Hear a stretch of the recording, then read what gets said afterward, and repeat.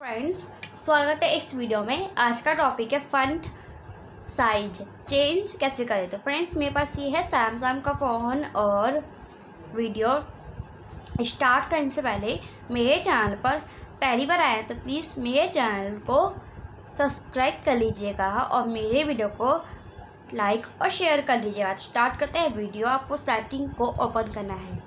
यहाँ पे आपको डिस्प्ले का ऑप्शन मिलता है, इस पर क्लिक करेंगे, फिर यहाँ पे आपको फ़ंट साइज़ का ऑप्शन मिलता है, इस पर क्लिक करेंगे। यहाँ से आप फ़ंट साइज़ चेंज कर सकते हैं। देख सकते हैं, मैंने पूरा फुल कर दिया है और यहाँ से बैक कर दिया है। तो आप देख सकते हैं कितना बड़ा हो गया है, जिसकी आँखें वीक होती है तो इतना आप बड़ा करके रख सकते हैं। फ्रेंड्स, मेरी आँखें वीक नहीं है तो वापस मैं फ़ंट साइज़ एंड स्टाइल पे क्लिक करूँगी। फ्रेंड्स, इनमें फ़ंट स्टाइल भी है तो फ्रेंड्स, मैं आपको दूसरे वीडियो में बताऊँगी फ़ंट स्टाइल चेंज कैसे करते हैं। तो मैं इतना इसको कर देती हूँ थोड़ा सा छोटा छोटा मतलब। तो देख सकते हैं, इतना ठीक है ना फ्रेंड्स फ्रेंड्स आई होप आपको फ्रंट साइज़ चेंज करना आ गया होगा तो प्लीज़ मेरे चैनल को सब्सक्राइब कर लीजिएगा और मेरे वीडियो को लाइक कर लीजिएगा।